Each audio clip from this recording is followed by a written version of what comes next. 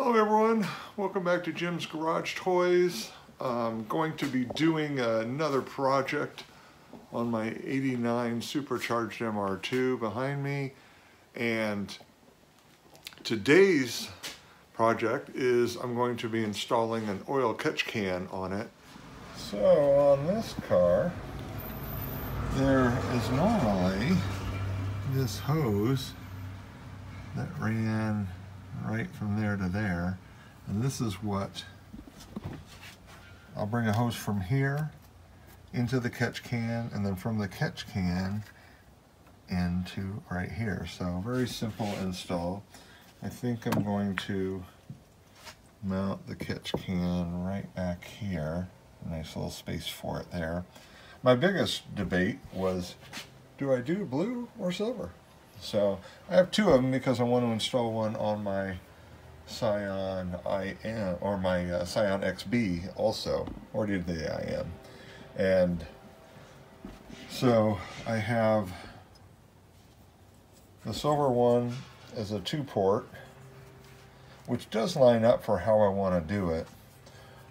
The blue one is a three port, so it gives me the option when I'm installing which whichever way makes it easier.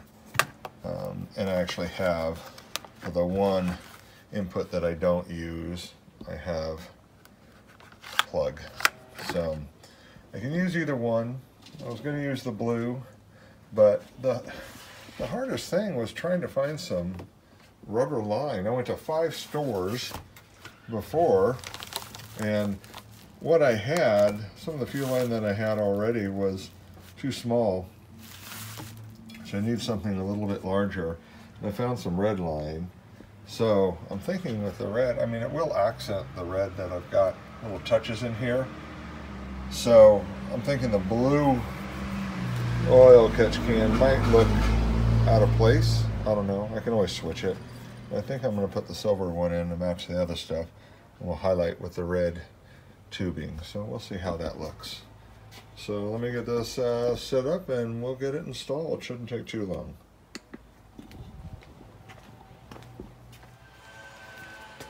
So there's a little, there's a hose right here, coolant hose. It's got a little bracket on it. And I think I'm gonna try to use that. I'm gonna use that mounting point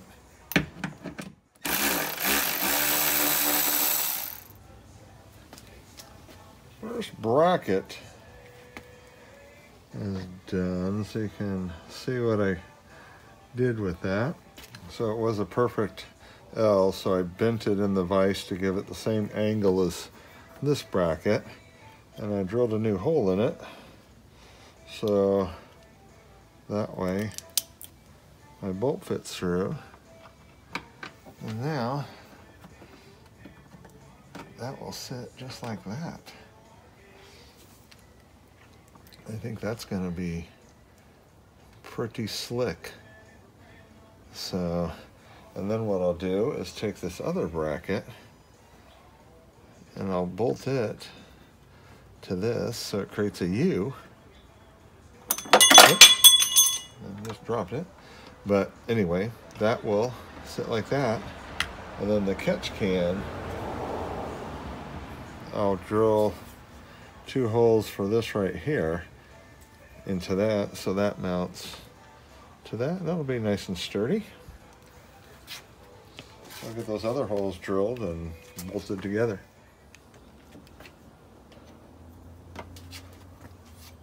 So this is what I started with, a right angle. And then this is how I bent it to fit the curvature of this bracket. And then each of these brackets had one hole right here and I drilled another hole farther back. So what I can do is layer them have the holes line up. See the light through it there. And about some bolts? So bolt those together like that. And I'll have a perfect mating surface for the catch can. So we'll get started on that part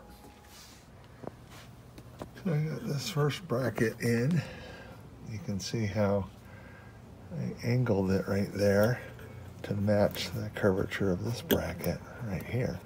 So now that that one's bolted in, this other one will go just on top of it like that. Then the catch can will get bolted right there. I'll drill a couple holes there for that one. All right, got the two pieces bolted together there. So, and the first bracket's bolted to the original OEM bracket. So, and you can see I've got the two holes there to put the metal screws that came with the oil catch can. I figured worst case scenario, if I don't like those, I can drill these and drill these holes out just a little bit and put uh, nuts and bolts like that right there. So, and just so, so you can see what I used. So, I just ended up buying some small screws with a hex top in it and then some nuts that would lock up there. So, real simple. And now I've got this piece that will go just like that right into this nice space and we'll be all set. All right, I'm going to let's get this screwed.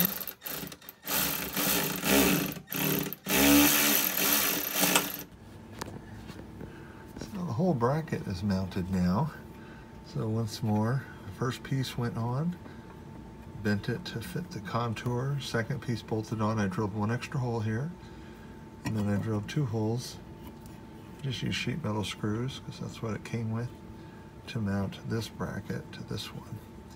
So, and then this just will mount right under here, like so. And so this part will be easy. It's really just getting the bracket exactly how I wanted it, and it wasn't uh, it wasn't very hard to tell you the truth. Well, I ended up using the blue one because interestingly enough, the silver one, even though they look the same, the threads are slightly different between the two, so must be different brands. So luckily I had a plug, so I just plugged one of those three. Use some liquid sealant on the on the threads and I use that one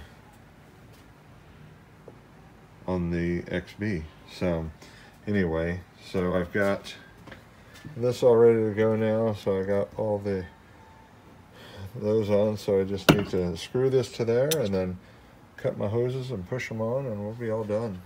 So finish this up. Okay. Got the two screws on now, so now it's just a matter of cutting some tubing. So I'm going to do this one right here directly up to it. And this one I'm going to just make a little curve.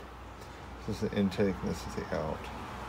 So, so here's the final look of it. So I was, I was actually going for the silver catch can and I was going to do black hose, but I couldn't find any black hose. Well, the stores are out of it. it. Took me five stores to find this. But it's installed, so so we got the new intercooler in, and now we have our catch can in. So nice and very, very happy. So I've been wanting to do both those things for a while. So thanks for joining me on another modification on my cars and uh, any questions for me? Please comment and smash the like button and subscribe if you enjoy what you see. So thank you guys. We'll see you the next time